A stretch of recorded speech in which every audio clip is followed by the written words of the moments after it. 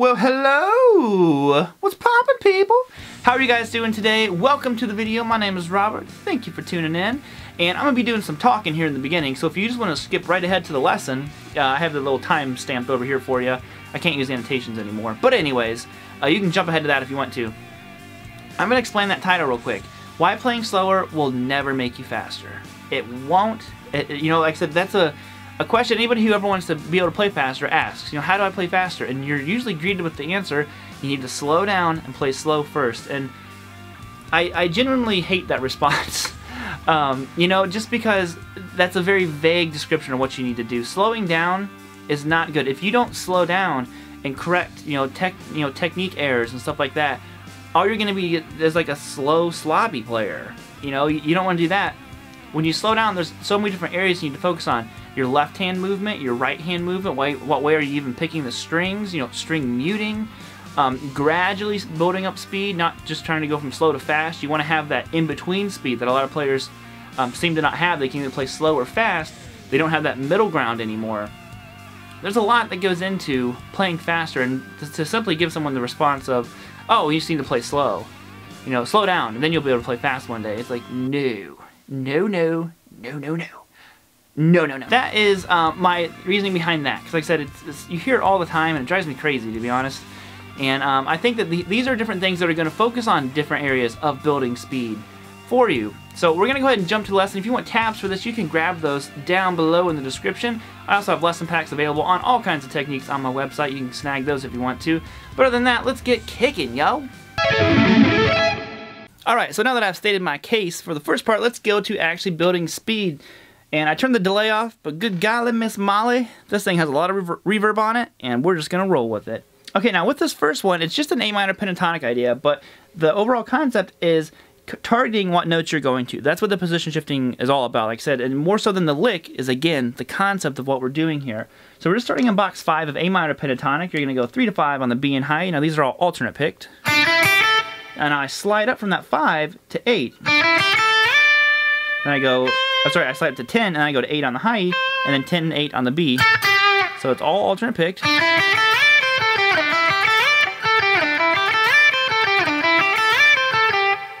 So we have that all kind of happening for us. Now once you can do that, that's just going from box 5 to box 2 of A minor. I want you to flip around the other way. So go 8, 10 on the B and high, and work on your down slide, down position shifting. You want to be able to do it in both directions, so...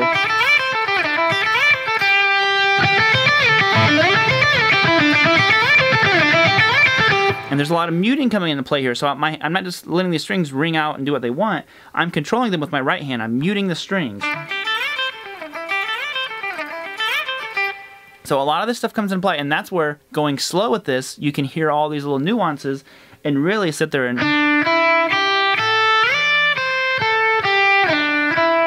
make sure you're really controlling the sound.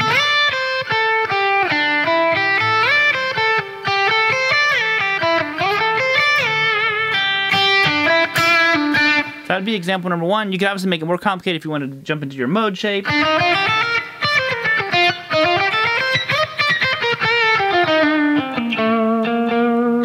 But for now, we're not worried about that.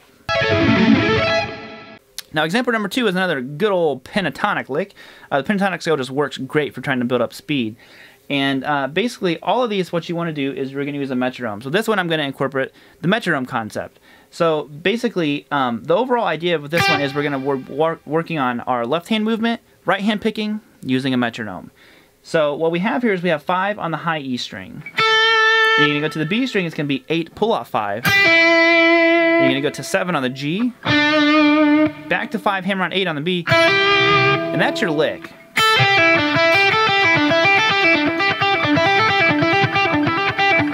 Now, the goal is, and like I said, I'm not saying I'm a master at any of this stuff, because I'm certainly not, um, is you want to move your hands off the fingerboard as low as possible. If you're the kind of person whose fingers are flying off that fingerboard, you gotta kind of like, you know, chill with that and work on it a little bit. Um, I know I certainly had to spend quite a bit of time to get my fingers to not be bouncing off the fingerboard like crazy. So with this one, first thing you want to do is you want to get the lick down. Get it underneath the fingers of either your left hand or your right hand. So for now, we're going to do left hand because picking is going to come here in a minute.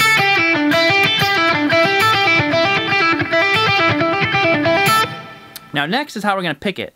Now how you're going to pick this is, a lot of people might tend to go to alternate picking. What I want you to try to do is we're going to incorporate a new technique, uh, basically like little sweeps. We're going to use economy picking. So you're going to be going up on that 5, up on the 8 of the B and pull off the 5, down on the 7, and down on the 5, hammer on 8. Now, notice I'm moving in the right direction more than I'm moving in the wrong direction. So...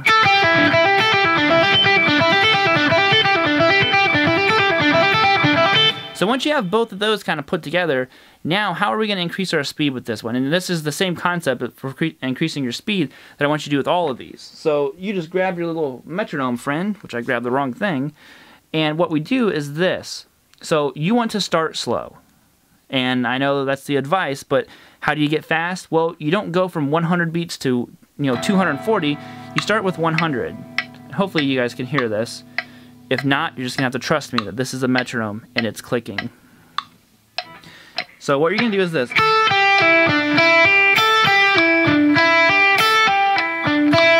You need to figure out what you're to do. Are you to play like one note per click?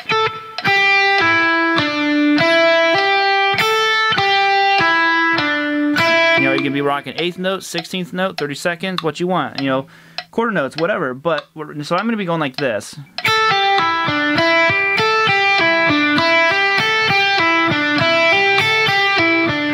Focusing on my technique. I played the wrong note there. I'm focusing on my technique. Am I picking it correctly? Am I trying to focus on how much I'm moving my hands off the fingerboard? This is all going to come back later on. It's going to slow you down at first and really speed you up in the long run. So how do you go faster? Well, you don't go from 100 to 200. Like I said, you go 100, maybe 105. And I would practice the whole first session at 100. You know, maybe tomorrow do 100 and 105. So now it's not even going to feel that much faster to you.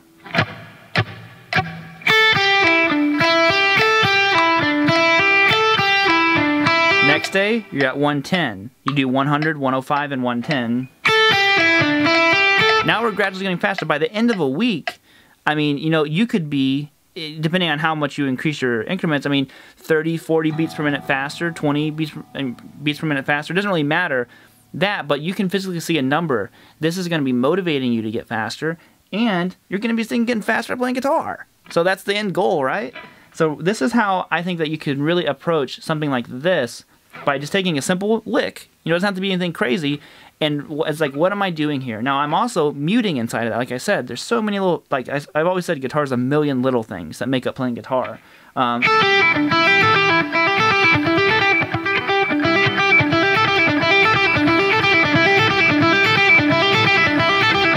take your time and go slow.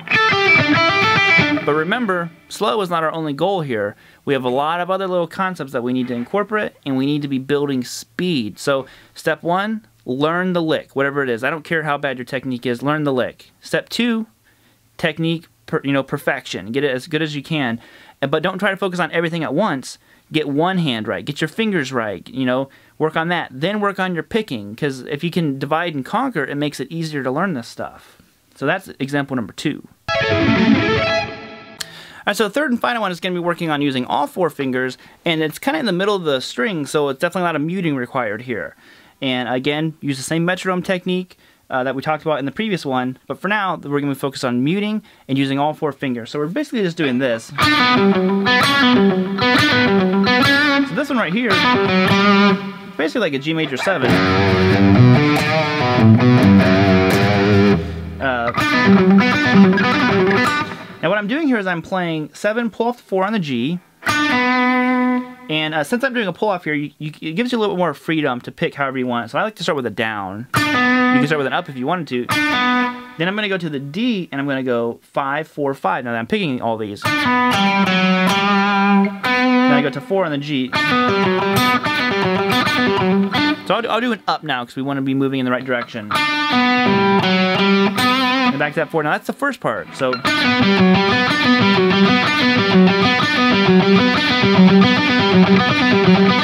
Now once you have that, what I'm going to do is I'm going to go to six on the G. Okay, so this is basically kind of like the little B minor section here.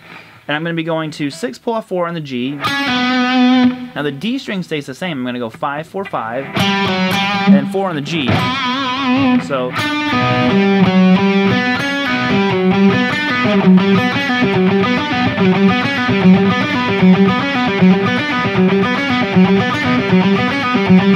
Now notice I'm not worried about blazing through this thing right now.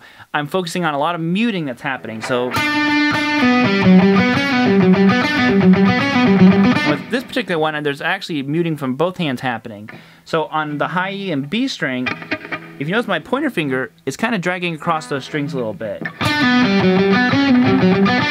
And it's muting those. My right hand now is laying on the strings down here by the bridge, and I'm muting the lower strings. That way, the only strings that should be making any sound are the D and G, and even those have a little bit of a light mute if you listen to it.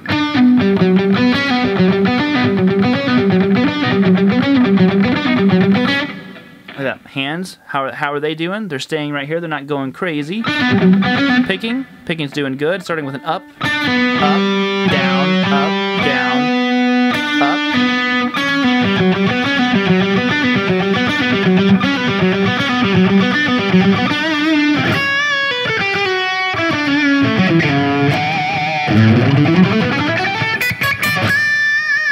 And there you have example number two. Focus on your muting, and that's going to clean up your playing tremendously. All right, peeps, that'll wrap it up for us here today. Make sure you grab those tabs down below in the description. Check out the lesson packs on the website if you want to. I also offer Skype lessons from time to time now, and I think that'll be it. Peace out, guys. Keep on rocking. I will see you later. High five it up, yo.